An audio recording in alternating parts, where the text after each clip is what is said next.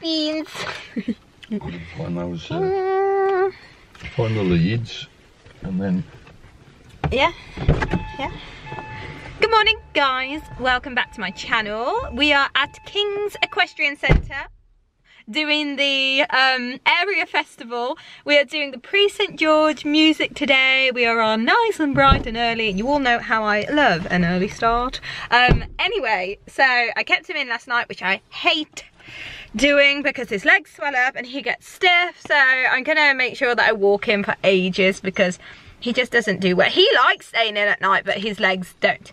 The mind is willing, but the body isn't. Um, so yeah, so I'm gonna warm him up for a while. How do I feel about today? Well, I just love my pre-St. George music. Love it, I love riding it. Love pretending I'm a cowgirl because, you know, every girl's secret dream is to be a cowgirl.